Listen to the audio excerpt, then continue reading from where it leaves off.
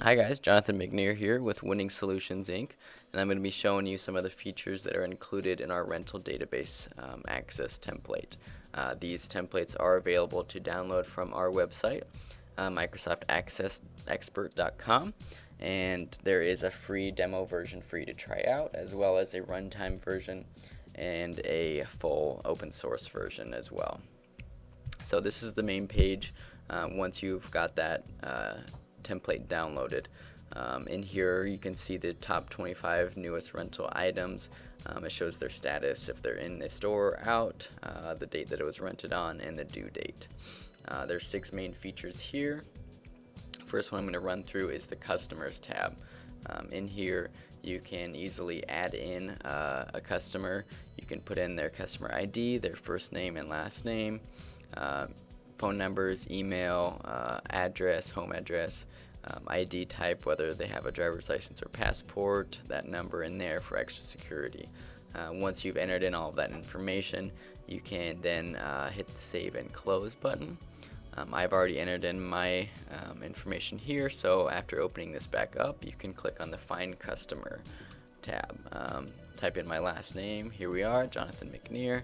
Uh, after double clicking on here, it's going to pull up all of my information that I have entered in here. Uh, customer ID number, first and last name, etc. Um, and if I had any outstanding balance, it would be uh, shown right here. Uh, I have not rented anything out yet, so the customer history report is going to be blank. Um, but this would show all of the, the history of that customer uh, within this page here. So once you're done with the uh, entering a new customer or, or searching a customer to see what their balance is, um, the next thing is going to be your rental items. Um, down here you can um, find any of the um, items that you already have entered in the system. So Fast 5 is one of them. Um, in here is going to show the number of, of DVDs and Blu-rays that you have, um, the cost of each one, and then the sale price of each one as well. Uh, the date that you received them, and um, whether or not the movie is out as rented or not. Um, you can also view the item history, um, so it's going to tell you that um, this this item was um, rented out by Andres here. He paid a late fee, and all of the prices here as well. If you wanted to enter in a new uh, DVD or Blu-ray, um, it's pretty easy and simple here as well. Um, so if there's a new Minions um, 3 movie, um, you can add in a short description of the movie, uh, specify whether or not it's a DVD, Blu-ray, or a video game. Um, and then in here is the pricing groups. Um, you can specify the pricing for each each different group, whether it's Blu-ray, DVD, um, new releases, or just the, the older catalogs here. You can also um, specify a sale price if the customer wants to purchase the DVD from you. Um, and once you have all of that information in here,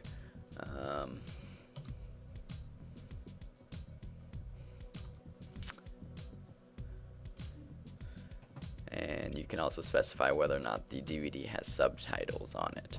Uh, after you hit the save and close button, that's going to update the system um, and add in your new movie. So back up in here in the find items, I can search for Minions 3 and there it is. It's going to show me um, if I if anyone had rented out the DVD, I could hit items history, and it would show me the customer names and the and the transaction date, um, when it was returned, and what they paid for it. Um, so the next tab that I'm going to go over is the Process Transactions tab. After clicking on this, you can search by the customer's last name, or if you specify over here, you can search by the customer ID number typing in my last name here, it's going to pop up with my uh, customer ID number and name. Double clicking on it, it's going to open the transactions tab. Uh, the first thing it's going to prompt you with is for a user password. Uh, this is so that no one other than your employees can get into the system here. Um, it's going to automatically tell me the number of movies that I have rented out as a customer. So I have three. Um, if I had any outstanding balance, it would be uh, available here, um, but I, I don't have anything uh, past due at the moment. Um, if I wanted to uh, rent out a new video, you can scan the item uh, using your scanner gun. Otherwise, you can hit F8 or the movie search tab down here. So say I wanted to rent out uh, Back to the Future, it's going to pull up um, the different uh, formats I have, DVD or Blu-ray. Uh, one is already rented out, so I'm only going to have these two options available. After double clicking on that is going to tell me uh, what my due date is and the price um, for that rental. Down here, if I wanted to sell the movie, I could. Otherwise, I can void the transaction, view the customer history, or pay now. Uh, after clicking on the Pay Now tab, you can specify whether they're paying with cash or with credit card. Um, if they're paying with cash, you can enter in the, the bill that they give you. If they give you a $10 bill, it's going to tell your employee the amount of change they need. Uh, if I'm paying with credit card, then there's not going to be any change needed. Uh, after I hit on the Pay tab here, it's going to close the transactions page and uh, show us the customer invoice. So right here it tells you, um, you know, the rental date, time, um, price, and the change if there were any. So once you're done with that, um, the next thing would be to return an item. So uh, the first thing it's going to ask you for is that password again. And if I had the scanner gun with me, then I could just simply scan the item. Um, it'll pull up the transaction uh, receipt and it will tell the system that the item has been um, returned back into our, our inventory. The next feature I'm going to go over is the Reports tab.